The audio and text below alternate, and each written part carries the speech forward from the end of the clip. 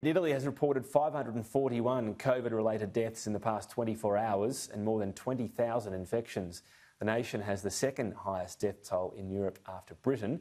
Italy will relax restrictions in regional areas after case numbers decreased nationwide. Almost 1.6 million cases have been recorded since the pandemic began.